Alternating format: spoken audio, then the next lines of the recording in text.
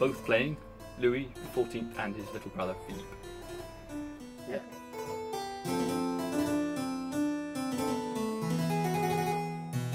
Um, for the first two nights, I will be playing Philippe, the Duke of Orleans, And I'm playing Louis.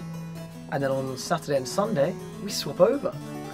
Um, I'm playing Henriette, who is married to Philippe, and um, and she has been chasing the coattails of the court all her life since her father was executed.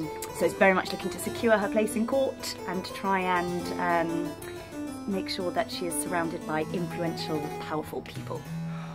The world is mad, and you are no king.